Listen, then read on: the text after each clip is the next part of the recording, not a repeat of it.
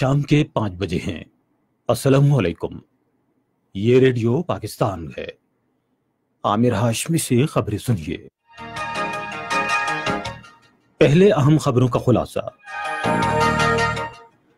وزیر اعظم نے کہا ہے کہ کشمیریوں کا اچھا وقت آ رہا ہے، جس سے ان کے بھارتی تسلط سے آزادی کی راہ ہموار ہوگی۔ ترکی کے صدر پاکستان کا دورہ کر رہے ہیں اور وہ اس ماہ کی چودہ تاریخ کو پارلیمنٹ کے مشترکہ اجلاس سے خطاب کریں گے۔ ترکی نے روس پر زور دیا ہے کہ وہ ادلب کے علاقے میں شامی حکومت کے حملے فوری طور پر بند کرائے۔ اور پاکستان اور بنگلہ دیش کے درمیان دو ٹیسٹ میچوں کی سیریز کا پہلا میچ کل راول پنڈی میں ہوگا۔ اب خبریں تفصیل کے ساتھ۔ وزیر اعظم عمران خان نے کہا ہے کہ کشمیریوں کا اچھا وقت آ رہا ہے جس سے ان کو بھارتی تسلط سے آزادی کے راہ ہموار ہوگی۔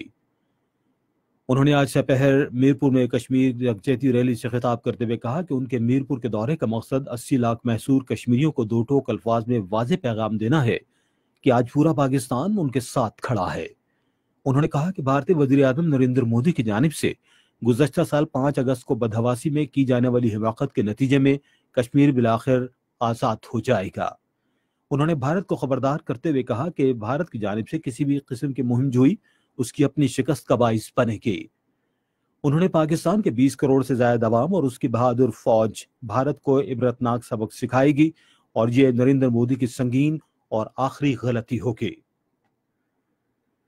وزیر خارجہ شاہ محمود قریشی نے ریلی سے خطاب کرتے ہوئے کہا کہ پاکستان کی پوری قوم سیاسی جماعتیں اور متعلقہ فریق ایک آواز ہو کر اپنے کشمیری بھائیوں کے ساتھ کھڑے ہیں۔ انہوں نے کہا کہ دفتر خارجہ ہر عالمی فورم پر مظلوم کشمیریوں کے لیے آواز اٹھاتا رہے گا۔ وزیر خارجہ نے کہا کہ کشمیر اور پاکستان کے پرچم ایک ساتھ سر بلند کرنے کا مقصد بھارتی وزیر اعظم نریندر مودی کو یہ پیغام دینا ہے کہ اقوام متحدہ کی سلامتی کونسل کی قراردادوں کی خلاف ورزی کرتے ہوئے مقبوضہ کشمیر کی خود مختار حیثیت ختم کرنے کی کوشش ہرگز کامیاب نہیں ہوگی۔ امور کشمیر کے وزیر علی امین گنڈاپور نے کہا کہ پاکستان کے عوام اپنے کشمیری بھائیوں اور بہنوں کی آزادی کے منصفانہ جدوجہد میں ان کے شانہ بشانہ ہیں اور وہ ان کے ساتھ رہیں گے۔ اطلاعات و نشریات کے بارے میں معاون خصوصی ڈاکٹر فردوس عاشقاوان نے کہا ہے کہ بھارت ویشانہ مظالم کے ذریعے بے گناہ اور نہتے کشمیریوں کی آزادی کی آواز دبانے میں بری طرح ناکام ہو گیا ہے۔ آج میرپور میں صحافیوں سے گفتگو کرتے ہوئے انہوں نے کہا کہ وزیر اعظم عمران خان کشمیری عوام کے پیدائشی حق خود ارادت کو حقیقت میں بدلنے کے لیے ان کے ساتھ سیسا پلائی دیوار کی مانند کھڑے ہیں۔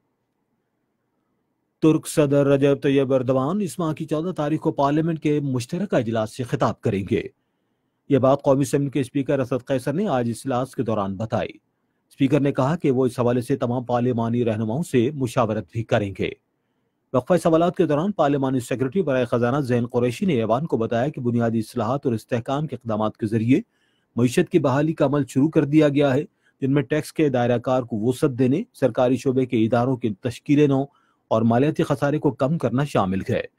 انہوں نے کہا کہ سماجی تحفظ کا نظام اور ترقیاتی اخراجات کو نہ صرف تحفظ دیا گیا ہے، بلکہ ان میں خاطر خواہ اضافہ کیا جا رہا ہے۔ پاکستان نے امید ظاہر کی ہے کہ امریکہ اور طالبان کے درمیان ان مذاکرات منطقی انجام تک پہنچیں گے، جس سے افغانوں کے درمیان مذاکرات کی راہ ہموار ہوگی آج اسلام آباد میں ہفتہ وار بریفنگ کے دوران دفتر خارجہ کی ترجمان عائشہ فاروقی نے کہا کہ افغان مفاہمتی عمل کے لیے امریکہ کے خصوصی نمائندے ظلم خلیجات کے پاکستان کے حالیہ دورے میں اس موضوع پر بھی بات چیت کی گئی۔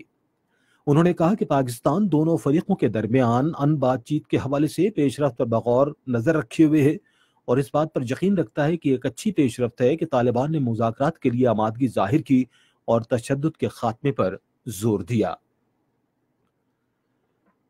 ترکی نے روس پر زور دیا ہے کہ وہ ادلب کے علاقے میں شامی حکومت کے حملے فوری طور پر بند کرائے۔ آج باکو میں صحافیوں سے گفتگو کرتے ہوئے ترک وزیر خارجہ میولت کوسوگلو نے کہا کہ روس شامی حکومت کا ضامن ملک ہے اور ترکی امید کرتا ہے کہ روس ادلب میں شامی حکومت کے حملے رکوائے گا۔ چین میں کرونا وائرس کی وبا شدت اختیار کر گئی ہے اور اس وبا سے ہلاک ہونے والوں کی تعداد پانچ سو تریسٹھ ہو گئی ہے، جبکہ حکام اس پر قابو پانے کی جد و جہد کر رہی ہے پاکستان اور بنگلہ دیش کے درمیان دو ٹیسٹ میچوں کی سیریز کا پہلا ٹیسٹ کل راول پنڈی میں شروع ہوگا۔ میچ پاکستان کے معیاری وقت کے مطابق دن دس بجے شروع ہوگا۔ ریڈیو پاکستان میں آج پر رواں تبصرہ نشر کرے گا۔ اسی کے ساتھ ہی خبریں ختم مزید خبر اور ترجموں کے لیے ہماری ویب سائٹ پر radio dot G O V dot P K اور فیس بک کے link radio Pakistan news official پر براہ راست ویڈیو اسٹریمنگ بھی ملاحظہ کیجیے۔